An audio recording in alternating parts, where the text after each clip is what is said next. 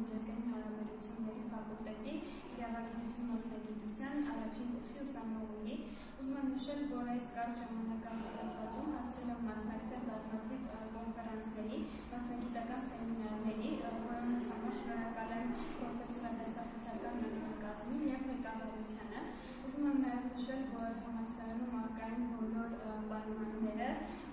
բարձրագույն կրթություն ստանալու պրոֆեսիոնալ մասնագետ լինելու համար չնայած այս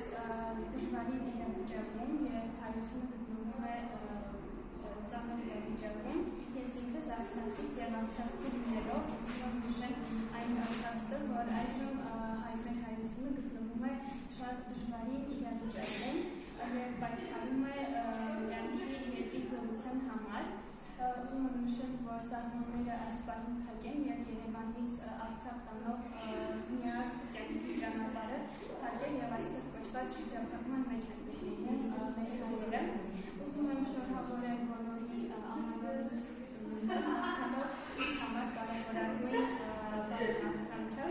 որը կայանում է նրանում, որ գալիք տարի մեզ համար լինի խաղաղության տարի, բացվեն բոլոր փակ սահմանները հայերի համար